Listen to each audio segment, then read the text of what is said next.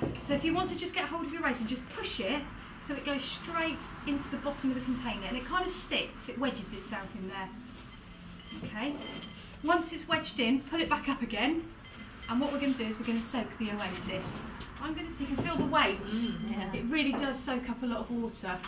So push it back down again, I'm just wedging mine um, because I've got a slightly different shaped container to you. Right, sleeves up. The first thing we're going to do just give them a wipe down just to get any mess that's on them. Um, they tend to get a bit of bit of mud, a bit of sand underneath. Okay, so underneath, round, and where it's overlapping, we're going to put a staple one side of that middle vein, and two staples the other side.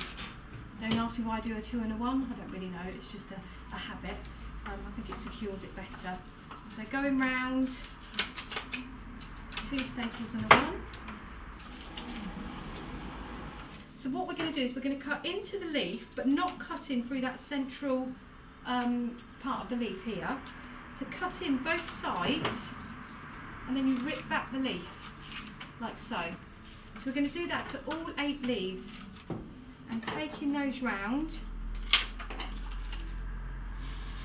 One, two, so they're evenly spaced out, so you can get all five, three,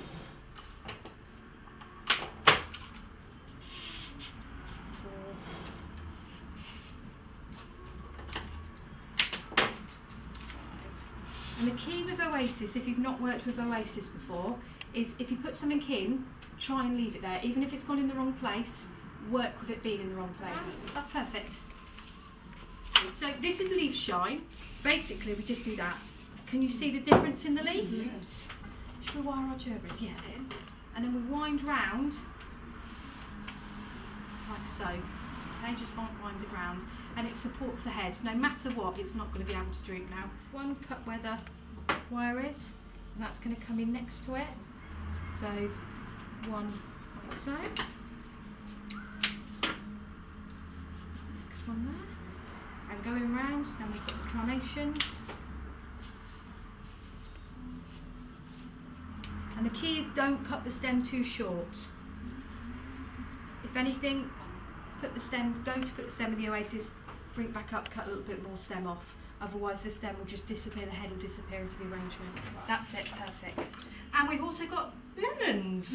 Ooh. And we're going to wire up lemons and put lemons in between as well. So it's creating another texture and also another scent as well. Quite effective, isn't it? Mm -hmm. Gorgeous, isn't it? Mm.